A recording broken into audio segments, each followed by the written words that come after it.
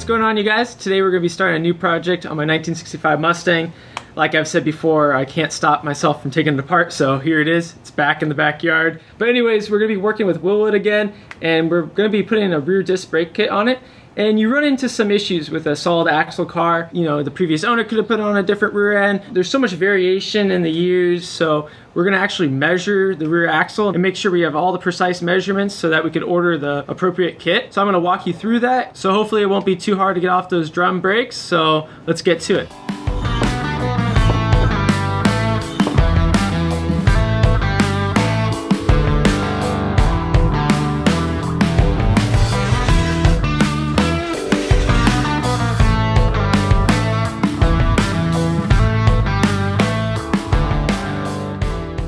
So it was honestly not that bad taking apart the drum brakes. I did get stuck on one thing and I looked up a video from ChrisFix and he got me right through it. So I'll put a link for that video down below. But it's pretty funny. It's much easier to take apart things than to install new parts. So then I took out the axle shaft and my dad helped me out cut off the backing plate. It isn't necessary for the measurements, but if you're gonna put on new brakes, those backing plates have to come off. So now that we have the axle shaft out, I noticed that this bearing isn't that smooth. It's okay, but since it's already out, I'm like, let's just go take it to a shop and get a new bearing press pressed on. So I'm gonna do that. Also make sure the car's in neutral and the handbrake's off because it's gonna make this job a lot harder than it needs to be.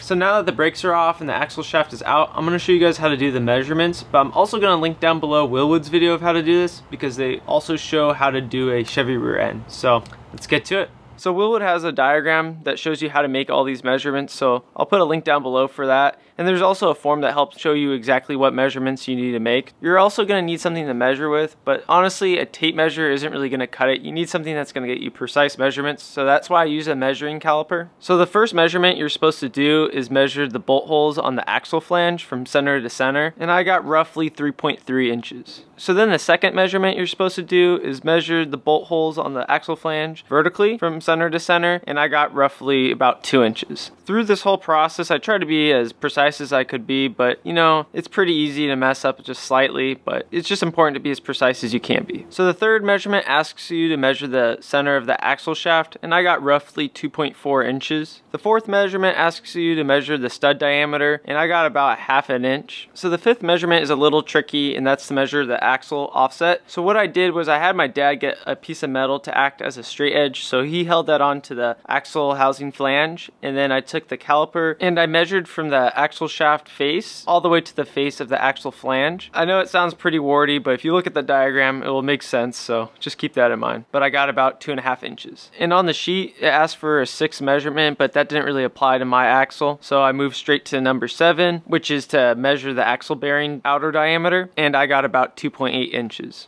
So I took a look at the measurements I made and I confirmed it's a small Ford rear end and that's what I thought. It's a 4 to 8 inch. So it was nice to confirm that and now I can order the correct kit and I cannot wait to go to rear disc brakes. The drum brakes, I don't know, they always go out of adjustment and one like wheel locks up before the other and it's hard to get perfect.